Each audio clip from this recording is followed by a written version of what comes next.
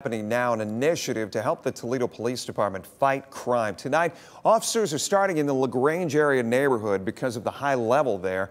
After listening to the discussion, Roxanne Elias has the details of how it could work. The shootings at night are terrible. They're, they're horrifying. You don't know what room to go in. Just shots all night long. Jessie Pride Paskett says crime near her home in the LaGrange area brought her here tonight. After a record number of homicides in the city last year, she and other neighbors in North Toledo are bringing their concerns directly to Toledo Police. And Toledo Police are listening. Chief Kral really wanted to get ahead of things this year. Uh, and you know, last year's, it's no secret, uh, was a pretty violent year here in Toledo.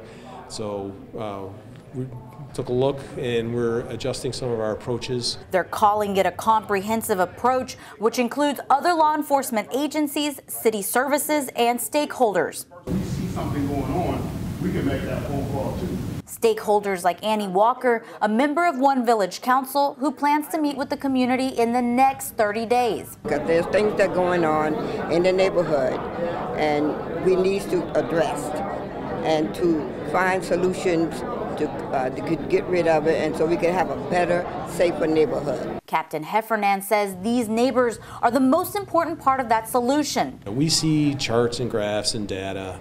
We respond to crimes, but we don't see everything and we don't know how the people are feeling.